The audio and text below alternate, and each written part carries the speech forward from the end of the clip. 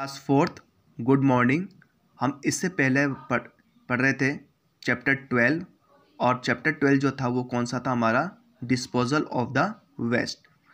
इसमें हम लोग ये पढ़ रहे थे, द थ्री आर्स। तो मैंने आप लोगों को बताया था कि थ्री आर्स क्या है।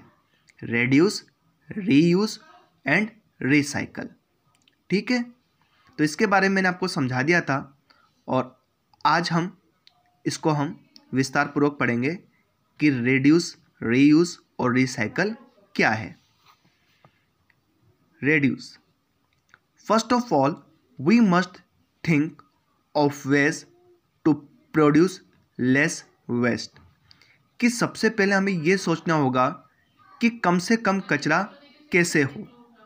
ठीक है, इसके बारे में हमें ज़रूर सोचना है कि कम से कम कचरा कैसे हो। Use products with less packaging ठीक है? तो कम जो पैकेजिंग वाले उत्पाद हैं, ठीक है, उसका उपयोग करना है। ठीक है?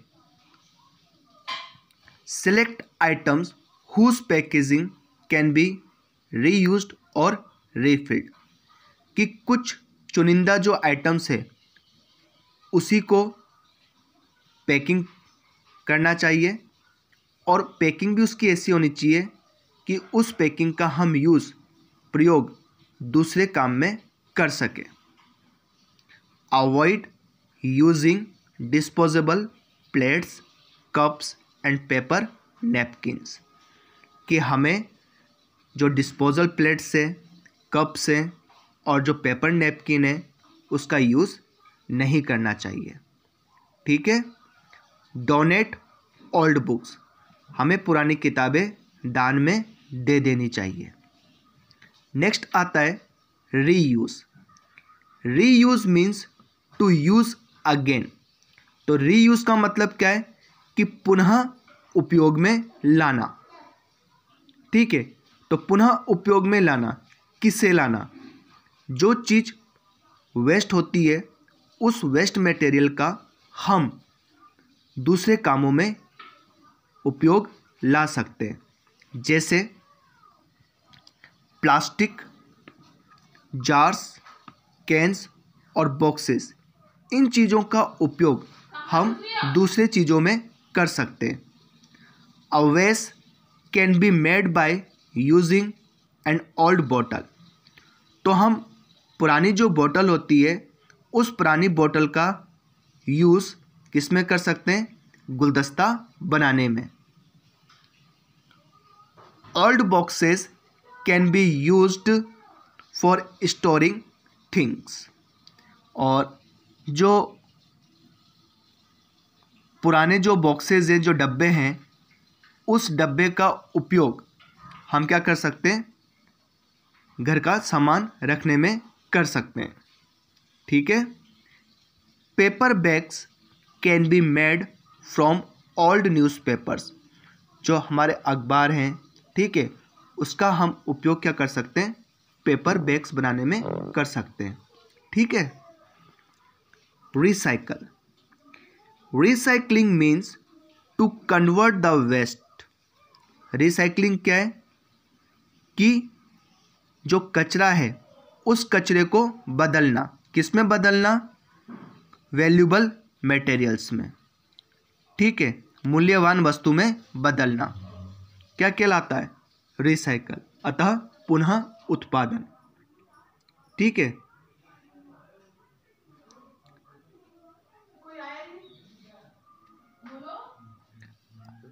Waste paper is recycled to make news print and notebooks अब देखो कि जो पेपर जो रद्दी होते हैं, ठीक है उसका हम क्या कर सकते हैं? रिसाइकल्ड करके हम उसका जो अखबार बनता है, जो पेपर बनता है आपका, ठीक है, अखबार, उसमें हम इसको बदल सकते हैं। ठीक है? तो अखबार को छापने में, ठीक है, और नोटबुक बनाने में भी हम पुराने कागज़ का यूज़ कर सकते हैं। ठीक है? New cans and jars are made from steel और ग्लास बाय मेल्टिंग देम कि जो पुराने जो स्टील है और जो ग्लासेस है, इसे मेल्ट करके हम क्या बना सकते हैं? कैन और जार ठीक है? इसी तरह से गार्बेज कैन आल्सो भी यूज़ टू प्रोड्यूस पावर कि जो कचरा है, उसका उपयोग हम ऊर्जा उत्पादन में भी कर सकते हैं।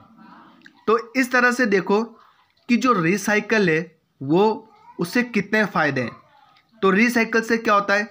एक तो हमारा जो नेचुरल रिसोर्सेस है, ठीक है, उसकी बचत होती है, ठीक है।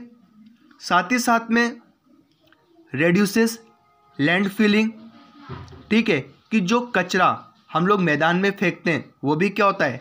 कम होता है, ठीक है। सेव एनर्जी इससे हमारी ऊर्जा की बचत होती है और साथ ही साथ में इससे पोल्यूशन भी कम होता है। ठीक है? नेक्स्ट टॉपिक है आपका ई वेस्ट ई वेस्ट क्या है? The discarded electronic devices like batteries cell phones wires electrical gadgets form the e waste अब जैसे अनावश्यक इलेक्ट्रॉनिक आइटम्स जो हमारे घर में कौन कौन सी? जैसे बैटरी है सेलफोन है वायर्स है इलेक्ट्रिकल मतलब बिजली के सामान है, ये सब क्या है? ई वेस्ट है। ठीक है? The harmful chemical in them like lead and cadmium cause a lot of pollution और जो जितने भी इलेक्ट्रॉनिक जो डिवाइस हैं जैसे बैटरी सेलफोन्स वायर्स ये सब क्या हैं? एक हार्मफुल केमिकल है और इससे बहुत ज़्यादा क्या होता है? प्रदूषण होता है। So we must try to recycle इसलिए हमें क्या करना चाहिए? इसके पुनः उत्पादन